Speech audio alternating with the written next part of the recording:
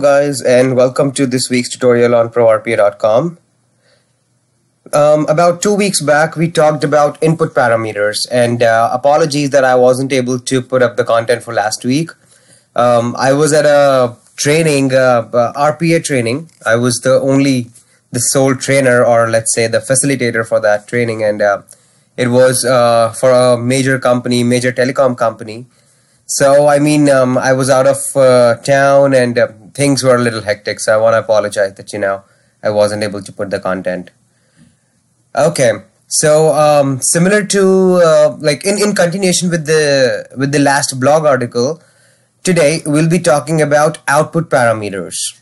So, like input parameters, uh, as we said, is used to input or uh, enter or provide some data to a sub workflow, right?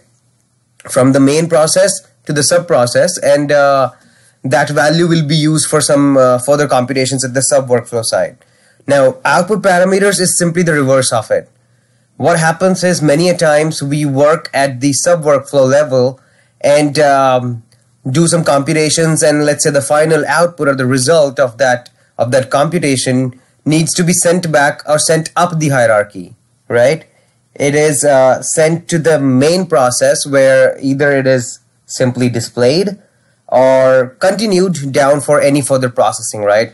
There could be a possibility that output of one process can be an input to another process and vice versa, right? So um, those are the things that we, uh, you know, uh, like those are the possible use cases of input and output parameters. They are pretty much the same for other programming languages too we have the ways to pass on data from one place to another in uh, whether it's Java, .NET, or in other RPA applications like UiPath, Automation Anywhere as well. Right? Okay, so let's take a quick example and I'm going to open the same process that I've been working on for a while. And uh, in here, mm, let's take this whole thing out. Okay, and uh, want this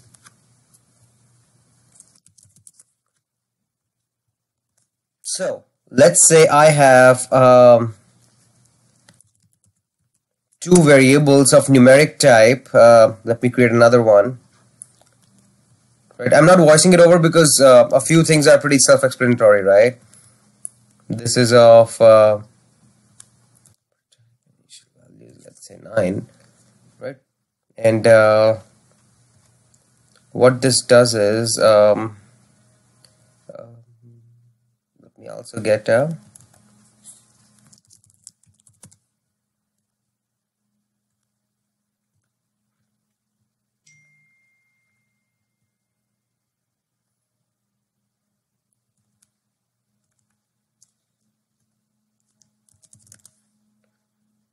sub means uh, in here it's like the sub process right so main page and the sub page. So this is a sum and I'm gonna explain the process what exactly is being done but currently I'm just creating a few data items.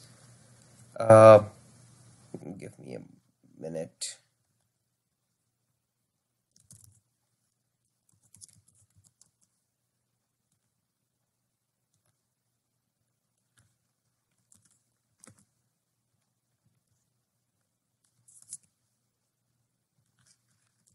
all right. So what I have done for now is that um, I have two variables in my main process called variable 1 and variable 2 and I have assigned a default value. They are of numeric type and I have assigned a default value of 8 and 9 to them respectively. And these values will be transferred to the page 1 we have discussed that, that last time so nothing much to ponder upon. I go to the start and uh, let's say um, first operand is the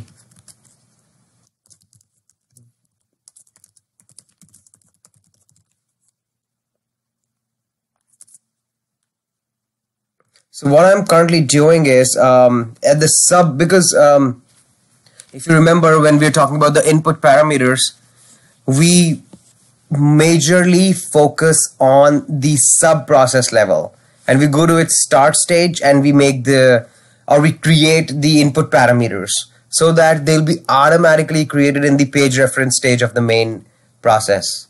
I hope that makes sense. Right? So right now at the sub process level, which is the page one level, I'm in the start properties. I'm just continuing with the same. We have already discussed this. This is the same input parameters, uh, pretty much the same example that we have taken last time. Right? And uh, another one is, let's say I'm adding a second operand and uh, this is going to be value of second variable right? It is going to be of numeric type or if you don't want you don't have to select the number or anything. If you remember um, any parameter that any input parameter uh, we provide like where we want to store its value locally so this is something this the, the value of this first operand parameter is something we'll be receiving from the main page from the main process. And uh, where do we want to store it locally in our sub process which is the page one? It's gonna be sub data one. And automatically the data type will be changed.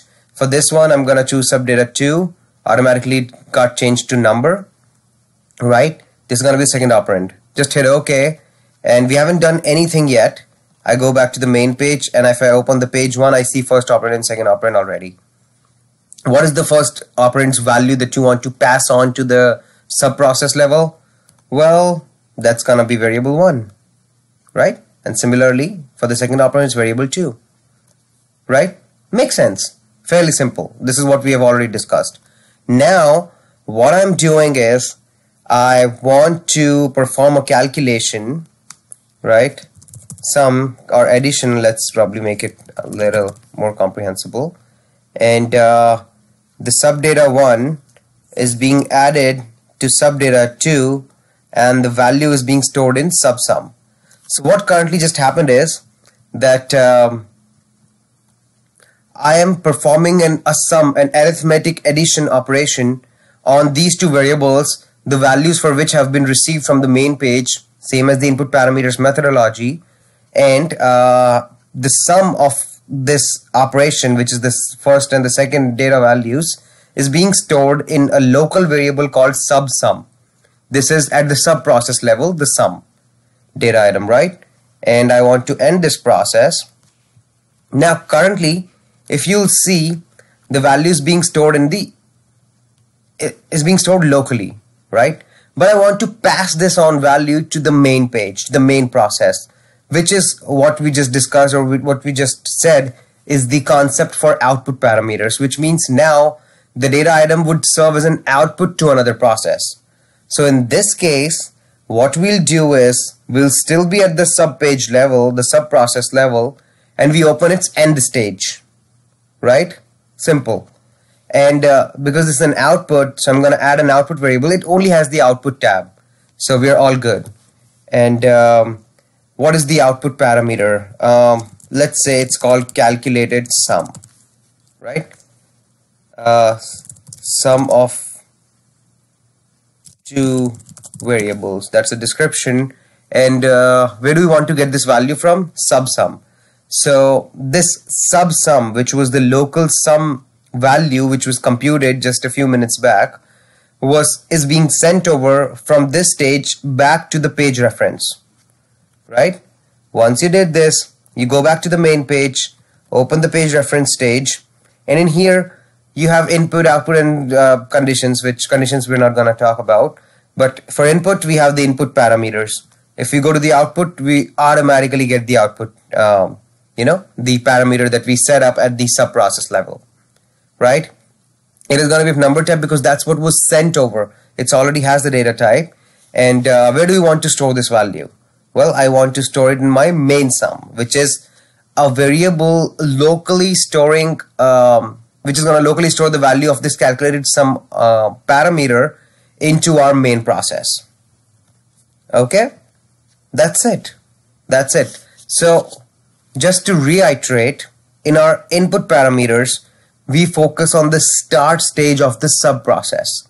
And that's where we create the parameters and automatically the page reference stage is going to have the same name and the same data type and all the same stuff of the input parameters.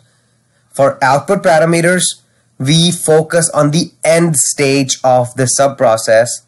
We create the parameter and automatically back at the main process page, the uh, output parameter is going to have the same value, the same data type, and the placeholder for us to store the uh, the value of that parameter locally, right?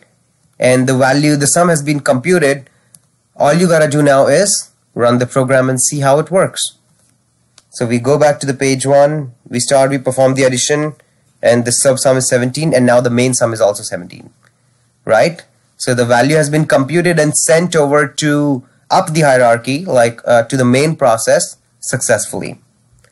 So that's a fairly simple concept, but it's gonna come really, really handy when we'll be talking about, I mean, you'll see uh, when we'll be dealing with more complex scenarios and we'll be, you know, uh, doing some I don't know, the SAP automation or any tool automation, any enterprise application level automation, then we'll need to pass on some parameters and understand how the concept works. And this makes our data more secure because now only those processes or sub processes which need access to the data will actually get the data. And uh, rather than like you know like making them globally available to every every possible process right?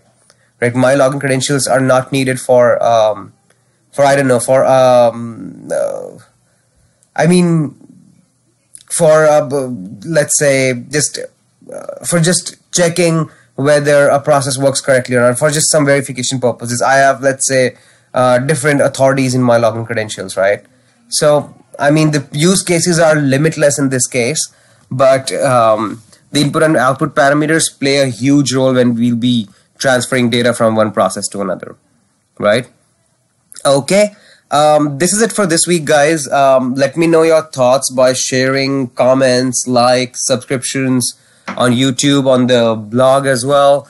And uh, for a thorough learning, you can always check out the Crisper Learning book and video series available on Amazon and Udemy. And also, uh, we have the tutorials on Skillshare, so um, you can sign up using the referral link in the description below. And um, please do provide your comments on the blog post and uh, on the YouTube channel. Right? Thank you very much and happy automating. Have a good weekend. Bye bye.